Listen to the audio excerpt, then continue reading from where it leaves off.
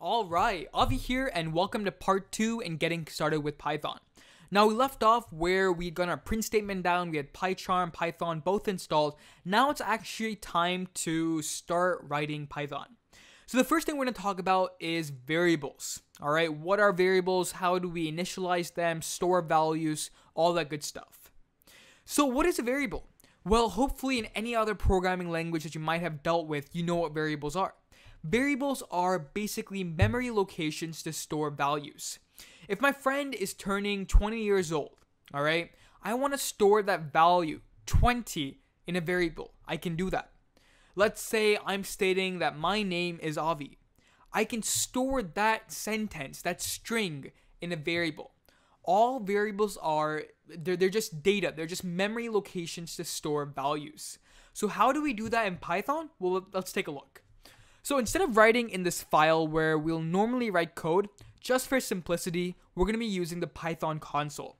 Now, if you don't see the Python cons- console like this down below, what I want you to do is hover over this sort of menu icon in the bottom left of your screen. And you'll see a menu with a list of different things you can open. And we want to open the Python console. So immediately you can see the Python console has opened. Now yours might be a bit below. Just go ahead and drag it up. So to initialize a variable in Python, there's three steps. The first step is the variable name.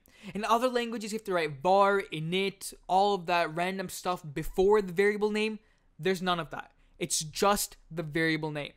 So we're talking about my friend. He's turning 20. We're going to write age. And I like lowercase, so age. Okay? The second step is an equal sign. You have to assign your variable to a value, and you do that through an equal sign. So age equals, and then finally you write the value. In this case, he turned 20, so we're to say age equals 20. Hit enter, and now age, the variable, has been assigned the value 20. If we type age in the console, we get the value 20. Fantastic. Now let's go back to the sentence, my name is Avi. I want to store that sentence in a variable. So I'm to create a variable called sentence, hit equals, and in quotation marks, because it's a string, I'm to say my name is Avi. Go ahead and enter. And now that string, that sentence has been assigned to the variable sentence. So now if I want to take a look at it again or view it, view the data inside the variable, just type it, hit enter, and you get my name is Avi. Fantastic. That's all there is to variables. So you assign data, you can print it, you can use it in various methods. We'll cover that in later lectures, but all I wanted you to understand is how to create these variables. Now, Python also has a neat feature known as multiple assignment. Suppose I have a bunch of friends whose birthdays today. One's turning 16, another's turning 18, three more are turning 21. Doesn't matter.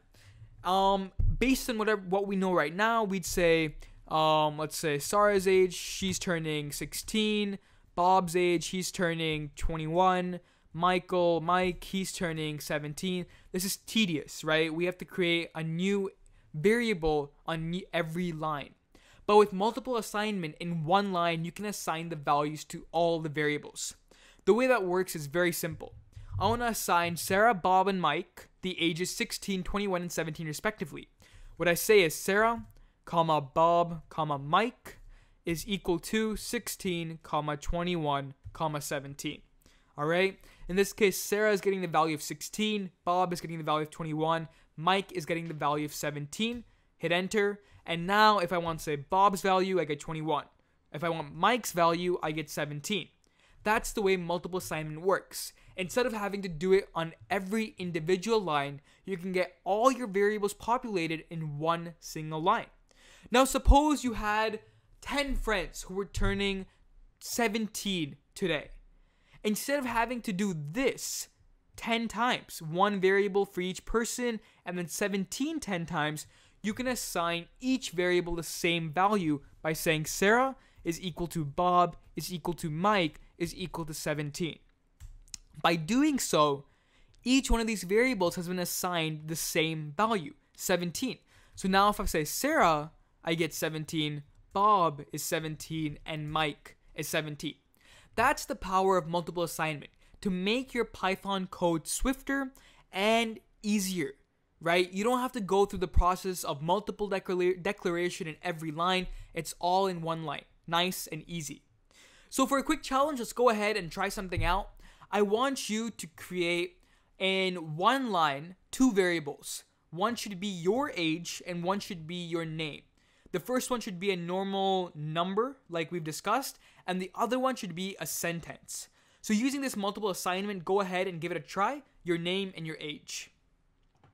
All right, hopefully you're able to do it. If you weren't, don't worry. We're just getting started. So I'm going to go ahead and say name, comma, age is equal to. Now the first one, since it is a string, I have to put it in quotation marks. And I'm going to say Avi, and then I'm going to say comma, my age, 15. Awesome. So now let's go ahead and check the values, name, and age. Great. So that's it for this lecture. Um, a quick recap. We learned what variables are. We learned how to initialize them. There are three parts. You have the variable name, an equal sign, and the value. And then we learned about multiple assignment and declaring multiple variables in one line. Don't forget to like, share, and subscribe, and I'll see you in the next video.